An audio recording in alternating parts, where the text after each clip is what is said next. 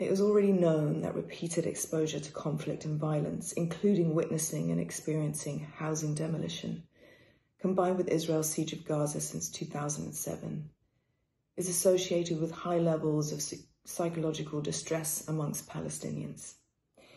Indeed, the United Nations Security Council Resolution 2712 expressed its deep concern that the disruption of access to education has a dramatic impact on children and that conflict has a lifelong effect on their physical and mental health. This disruption and its dramatic impact on children must be considered in particular and in the context of the number of Palestinian students and educators who've been killed 4,037 and 209 respectively, and wounded estimated at 7,259 and the number of Palestinian schools having been damaged or destroyed 352, or 74% of the schools in the whole of Gaza. Medical professionals assess that the health effects on all Palestinian children, women, men, older people, people with disabilities, and people marginalized identities are immense. An emergency coordinator for Médecins Sans Frontières interviewed on her return from five weeks in Gaza described It's even worse in reality than it looks. It's the amount of suffering is just something incomparable. It's really unbearable.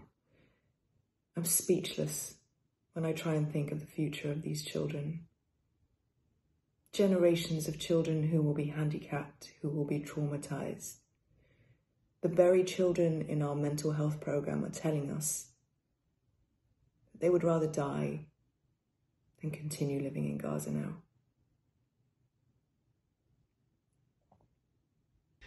The extreme levels of bombardment and lack of any safe areas are also causing severe mental trauma in the Palestinian population in Gaza. Even before the latest onslaught, Palestinians in Gaza suffered severe trauma from prior attacks. 80% of Palestinian children experienced higher levels of emotional distress, demonstrating bedwetting, 79%, and reactive mutism, 59%, and engaging in self harm, 59%, and suicidal thoughts, 55%. 11 weeks of relentless bombardment, displacement, and loss will necessarily have led to a further increase in those figures particularly for the estimated tens of thousands of Palestinian children who have lost at least one parent, and those who are the sole surviving members of their families. For the families who remain intact or partially intact, quote, it's about doing everything you can so your child doesn't realize that you've lost control there are reports of Israeli forces using white phosphorus in densely populated areas in Gaza. As the World Health Organization describes, even small amounts of white phosphorus can cause deep and severe burns penetrating even through bone and capable of reigniting after initial treatment. There are no functioning hospitals in the north of Gaza in particular, such that injured persons are reduced to waiting to die, unable to seek surgery or medical treatment beyond first aid dying slow, agonizing deaths from their injuries or from resultant infections.